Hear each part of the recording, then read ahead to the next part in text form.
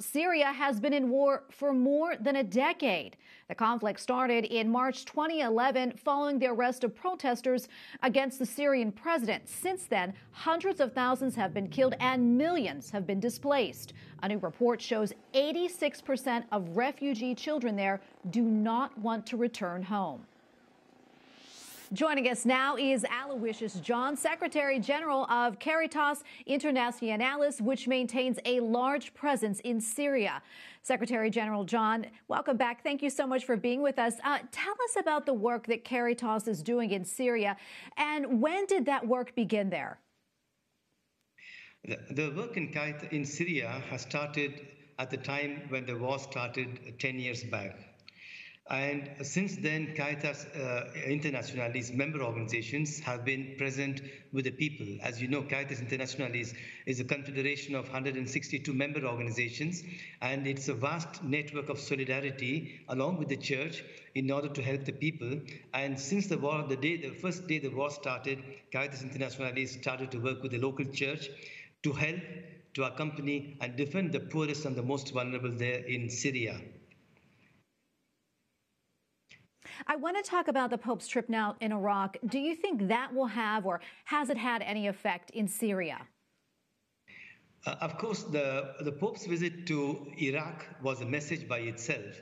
So the Pope's visit to, uh, to, to, Iraq was a message to the Christians in the, in the Middle East who are undergoing a lot of suffering. For example, in Syria, these people have been uh, suffering. Syrians are innocent uh, people have been suffering for the past 10 years hundreds and thousands of lives have been lost in this in this bloody war i would say. And today people are there living in very dire conditions. And this is where the pope's visit to iraq was also a message to the christians in the middle east wherein where they are suffering. And and christianity in the and middle east is the is the birthplace of christianity. And this is where the christians are suffering but today, Caritas, uh, in line with what Pope Francis said, is also defending and helping the poor. And uh, till now, Caritas Internationalis has been giving them almost uh, helped almost 10 millions of people, Christians and Muslims alike. They've helped them.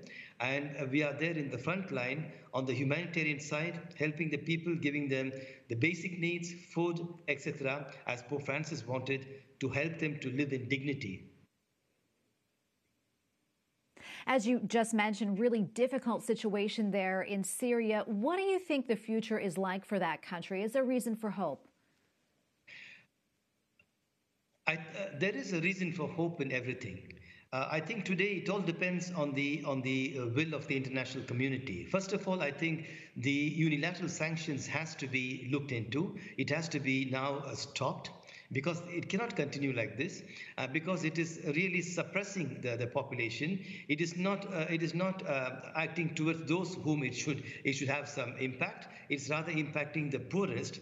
And today people are living without the basic needs. And it's also diff very difficult for caritas to get any help into into the into the uh, into the country and, and that is a, a, major concern for us. For example, till now, 10 million people have been helped, and every year we're helping more than 500, uh, 500 people in, in Syria, in different parts of Syria. And church is the only organization present there, and along with the church, Caritas is present. And today, with the sanctions, we are not able to help them. So, if there is, if, if you talk in terms of hope, I think that's the first step to uh, step to do uh, in order to give people the dignity what they need.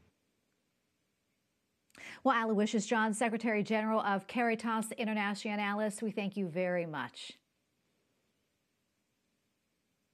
Thank you very much.